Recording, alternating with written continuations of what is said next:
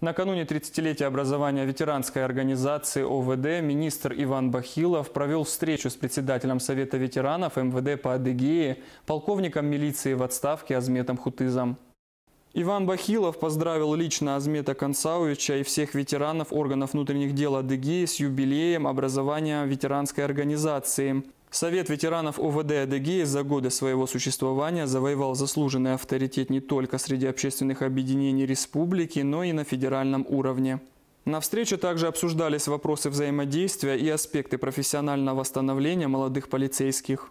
Далее коротко о некоторых происшествиях и мероприятиях в ведомстве. В прямом эфире на радио «Россия Адыгея» начальник подразделения КМВД Руслан Жачемуков и заведующий сектором платежных систем и расчетов отделения Нацбанка Адам Мугу рассказали о телефонных мошенниках, суммах, которые теряют жители республики, об основных признаках обмана и, самое главное, о том, как защитить себя и своих близких от аферистов. В рамках Всероссийской профилактической операции «Дети России-2021» делегация от МВД посетила Адыгейскую республиканскую школу-интернат для детей-сирот. Для ребят здесь созданы комфортные условия существования, что является одной из основных задач школы-интерната. Стражи правопорядка довели до ребят информацию о вреде наркотиков и мерах ответственности.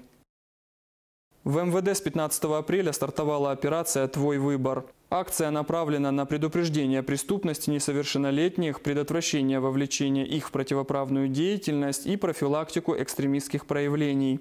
В мероприятиях принимают участие участковые уполномоченные и инспекторы по делам несовершеннолетних, сотрудники подразделений уголовного розыска по контролю за оборотом наркотиков и Центра по противодействию экстремизму. Сотрудниками УФСБ России по Адыгее и оперативниками Управления экономической безопасности Республиканского МВД в рамках работы по документированию противоправной деятельности 34-летнего жителя Московской области, генерального директора ООО, выявлен новый эпизод хищения бюджетных средств в крупном размере. Установлено, что по итогам аукциона в 2020 году между фирмой в лице гендиректора 34-летнего жителя Московской области и госучреждением Адыгеи в строительной сфере был заключен контракт на возведение фельдшерско-акушерского пункта в поселке Подгорном Майкопского района. Стоимость работ составила около 4 миллионов рублей. Позже гендиректор указанного общества отчитался составленными им заведомо фиктивными актами о приемке. В результате на объекте фактически не выполнены работы на сумму более 400 тысяч рублей. Следственным управлением МВД в отношении фигуранта возбуждено новое уголовное дело по признакам преступления, предусмотренного частью 3 статьи 159 УК России. Санкция – наказание в виде лишения свободы на срок до 6 лет.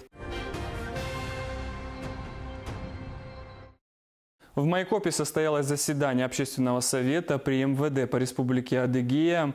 На встрече обсуждались вопросы взаимодействия полиции и общественности по вопросам профилактики мошенничества и наркомании. Началось заседание с того, что Аслан Хакушинов представил министра Ивана Бахилова членам Совета. Затем глава МВД высказался о том, какой ему представляется совместная деятельность МВД и общественников. Первый вопрос заседания касался укрепления взаимодействия ОВД и институтов гражданского общества. Необходимо проделать большой объем в сфере обеспечения дорожной безопасности и профилактики правонарушений. Глава МВД на заседании отметил, что важным в данном направлении считает функционирование кибердружин на базах двух крупнейших вузов Адыгеи – МГТУ и АГУ. В их состав, по мнению министра, должны быть включены наиболее активные и подкованные в IT-технологиях студенты. Второй актуальный вопрос повестки дня – работа сотрудников полиции по профилактике наркомании среди молодежи и участие в ней институтов гражданского общества. После просмотра тематического видеоролика с докладом выступил начальник ОНК МВД, полковник полиции Рустам Нахушев. На заседании Советом рассмотрены и организационные моменты, в том числе и вхождение в состав новых кандидатов. Глава МВД вручил удостоверение членов Общественного совета при МВД по Республике Адыгея, председателю Союза женщин Республики Адыгея Галиме Твороковой и декану инженерно-экономического факультета МГТУ Мурату Беданокову. В эти дни министр Иван Бахилов встретился с архиепископом Майкопской и Адыгейской епархии Владыкой Тихоном и муфтием мусульман Адыгеи и Краснодарского края Аскарбием Кардановым. В ходе общения глава ведомства проинформировал духовных лидеров о намерении впредь продолжить и активно развивать взаимодействие МВД со всеми общественными организациями.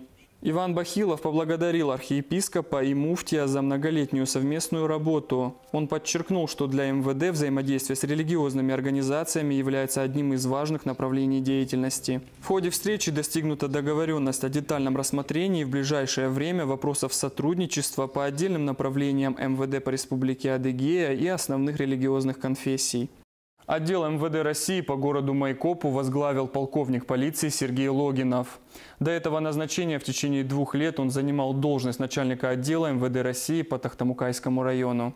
На службу в ОВД Сергей Логинов пришел в 1995 году. Более 20 лет работал на различных должностях в подразделениях экономической безопасности и противодействия коррупции ведомства. Представил нового начальника отдела МВД России по городу Майкопу министр внутренних дел по республике Адыгея Иван Бахилов.